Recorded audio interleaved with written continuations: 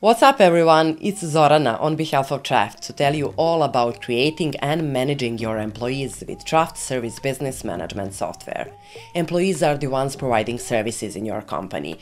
You can have as many employees as you need and you can set their unique schedules and track their performance for the next 7 days. But if you are the only one providing services in your company, don't worry. Your admin details are used during the onboarding process to create your first employee.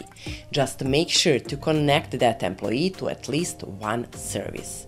If you didn't do that during the onboarding process, keep watching this video and find out how it can be done.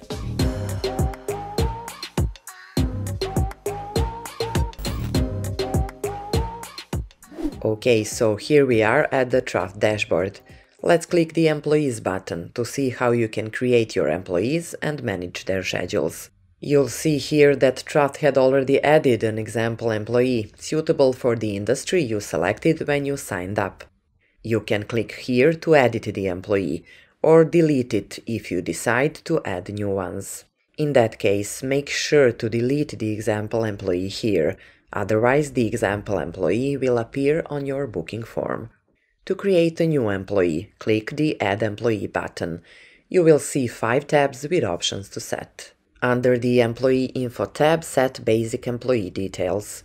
First and last name, as well as email address, are mandatory fields and cannot be skipped. Please note that there cannot be two employees with the same email address.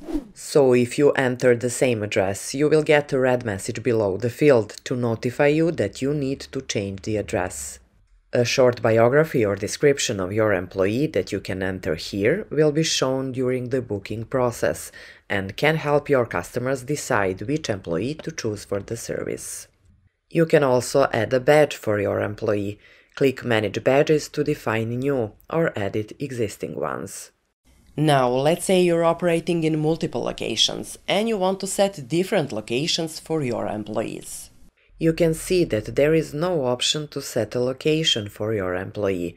This is because the location field will only be shown if you create at least one location on the locations page. So let's go and do that now. Click Add Location and fill in the name and the address. You can learn more about locations in Trafft in our other tutorials. For now, let's save the changes and go back to the Employee Info section. You can see that the location field is here now, and you can choose a default one for your employee. It is necessary to select one default location, just in case you don't select any while adjusting the employee's work hours. We'll dive deeper into this in a minute. Now, let's move on to the Assigned Services tab. Here you can see all created services. Choose which services will this exact employee provide by enabling or disabling each of them. You can set a price for each service when adjusting your service settings. If you need your employees to have different prices for the same services, you can adjust that here. This price will apply only to this specific employee. Your employees can also have different minimum and maximum capacities from the one set on the services side. To be able to edit that here, make sure to first enable group bookings for that service under Service Settings. Under the Working Hours tab, you can set a unique schedule for each of your employees.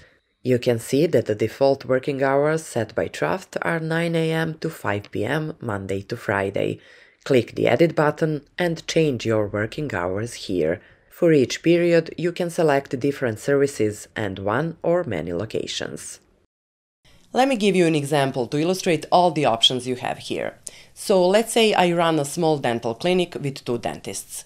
They both work 9 to 5 and have the same services assigned. But I also employ a dental surgeon part-time who works only on Mondays. From 9 am to 11 am he is doing dental checkups.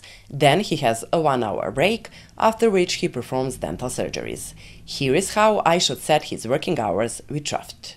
Since the surgeon is working only on Mondays, I am first going to disable working hours for all the other days in the week. Then I will click the Edit button and set working hours for the first part of the day. During this period, the surgeon is doing dental checkups, so I'll make sure to select that precise service here. To set his working hours for the other part of the day when he performs surgeries, I'm going to save this period and add a new one here. The process is now the same. I'll edit working hours for a period after the surgeon's break and select dental surgery as a service my patients can get during this period. We now have two periods set for the surgeon. But what if your business spreads across various locations and you have the same employees working in multiple locations on different days? Don't worry, we got you covered. So let's imagine another scenario for my dental practice. I run two clinics and my surgeon works in clinic number 1 on Mondays and Tuesdays and in clinic number 2 on Thursdays and Fridays. I will simply select location 1 for Monday and Tuesday. I will turn off working hours for Wednesday and select location number 2 for Thursday and Friday. And that's it. My surgeon is now available for booking during the given working hours and locations. Trafft also lets you configure days off for your employees. Finally, under the Special Days tab, you can add a custom schedule for certain days or time periods. Please note that the Special Days tab under the Employee Settings is visible only if the Special Days custom feature is enabled.